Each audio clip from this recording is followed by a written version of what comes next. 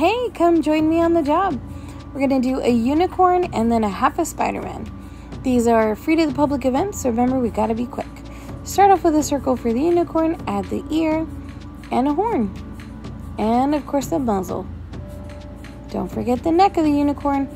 She said she liked the color purple, so we're going to do a purple mane. I'm using a Mark Reed round number four for that. We now need a Loew-Cornell round number three, and I'm using Mehron Edges Black. I love Mehron Edge Black because it doesn't get goopy in humidity. It dries out pretty quickly. All right, now we do Chunky Glitter. And let's see what she thinks. she loves it. All right, on to the next one. All right, here, Spidey. I do apologize. My shoulder is completely in the way. I definitely didn't realize that. But we are going to start with uh, Spider-Man's eye. That's uh, Paradise White. Then I take a half inch wash with Mehron Berry Red.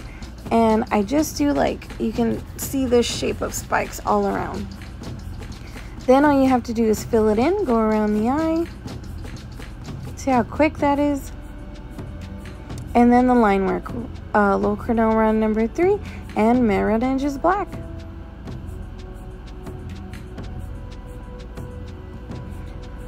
Then we uh, go ahead and do the webbing. Make sure your lines are kind of thin on here. You know, you don't want it to overpower the whole design. Let's see what he thinks.